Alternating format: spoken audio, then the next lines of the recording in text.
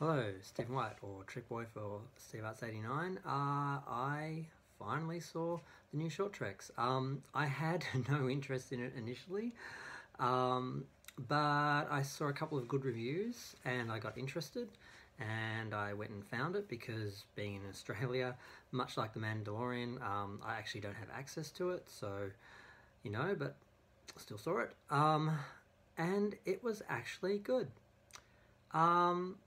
It was actually good. I'm really kind of surprised. Um, it is a Star Trek story. It is um, short, sweet, simple.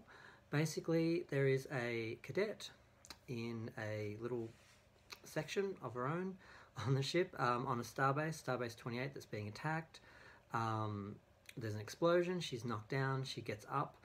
Um, some people come in and they have a prisoner and they explain that the prisoner um, mutinied and they can't get to the brig because there's damage on deck four or something. So they need her to hold him there and not let him out.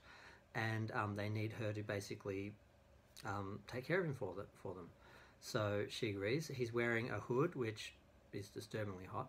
Um, sorry into um, and she asks why the mask. Um, and they explain that they have to hide his identity because he's a very important um, person and they don't want people to know that he mutinied.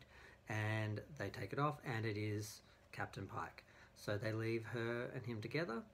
Um, the battle rages on on um, outside, and he immediately tries to get her to um, open comms, comms and um, and help him, and she says no.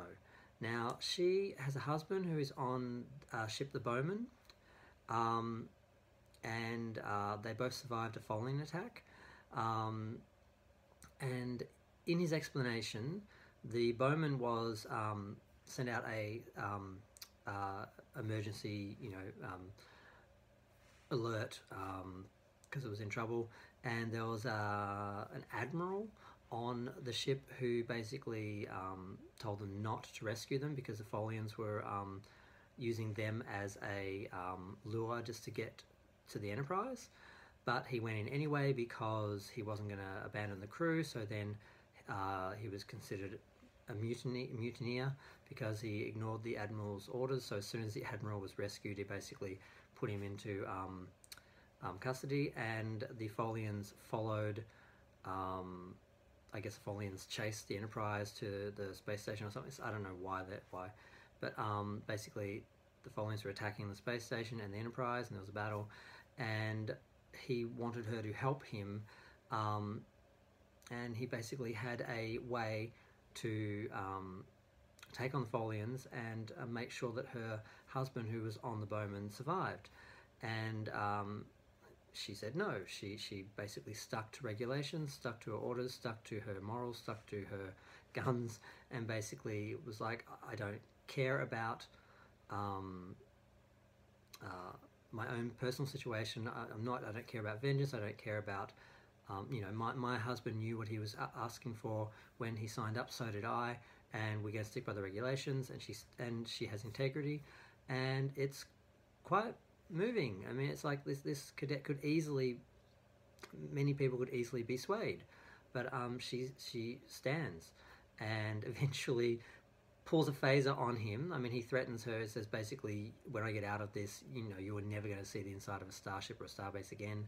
Um, that still doesn't work. Um, she pulls a phaser on him, and, and then eventually he says, "Okay, end the simulation." You know, she she's she's um, she's she's standing by her um, her convictions. You know, she she's quality. She's good. You know, she she's passed the test. Um, and um, she, see, I thought this was like a lame, um, like cadet thing where they know it's a test. That's why I thought this is just bullshit. And then I realized, oh, she didn't know. They really, and um, then it really does appear really brutal. They blew her off her feet. They simulated the, the attack to the point where she was knocked off her feet by the explosion and um, really thought it was real. And he had to tell her, "It's your husband's fine. He's on leave now. Um, this is all simulation. It's not real. We're testing you. You've passed." And she's like, "What?" Um, and then and he says, "Clean yourself up and meet me at the transporter room." She goes to the transporter room. She beams to the Enterprise, and she's basically been transferred to the engineering section, which she'd applied for and been knocked back. Um, I guess she had to pass this last um, test, um, and she now is signed aboard the Enterprise, and she's greeted by um, the Spock and Number One, who seem to be like the greeters for anyone who comes on the ship. Um, and it was Number One's idea to do to, to do the test and the simulation, and Spock uh, implies that she's quite brutal, and um, there's a wind and a wink and a nod there, and um, she is taken to engineering where she's now um, posted. And basically he says to her look you we're all tested in war and in these sort of situations and you just need to hold on to yourself and you'll be okay. And she says basically thanks for the kind words. Um, and asks if the phaser was on if it was really if it was really um, set and if she could have really heard him. He just says see you around the ship. Wink and a nod off he goes um, the acting is good, the writing is good. It's incredibly short. It's probably about nine minutes. Um, I think they probably could have had a little bit more talk, a little bit more, a little bit more um, explaining the situation and the testing and, and the reality of her being transferred. It's all very quick. One minute she's being tested, the next minute she's being transferred, the next minute she's on the ship. It's very, very fast. Um, they easily could have stretched it out to 13, 14 minutes. That's the only problem with this short trek. It's too short. But everything else is good. It felt like Star Trek. It felt good. It felt well done, intelligent. Despite how short it was, it seemed to explore all, all, all the elements of that um, situation. And I enjoyed it. And I have nothing to say bad about it except it was too short. Um, so I'm really happy to finally do a good review of something Star Trek Discovery related. Um, so I'm just going to leave it there before I think of anything bad. Um, and I look forward to having it as an actual short trek like on DVD or Blu-ray one day. So feel free to like, subscribe, and um, let me know what you think. Comments are good. Thanks. Bye.